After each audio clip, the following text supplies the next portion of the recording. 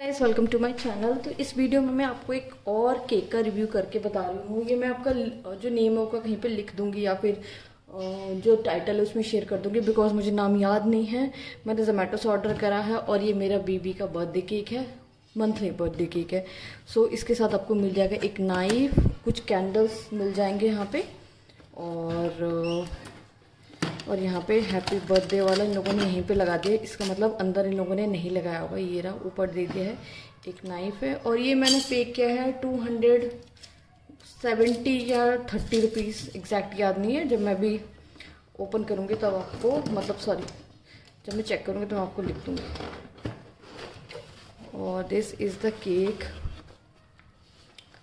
जो कि हाफ़ के जी का केक है।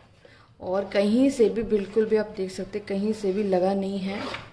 और ये रहा आ, मेरी बीबी का नाम है अनवी।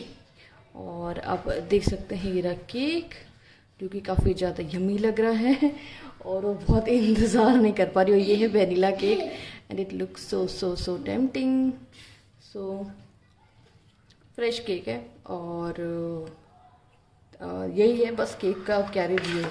केक तो केक होता है बस जो एनवी लिखा है थोड़ा सा ऐसा हो गया है।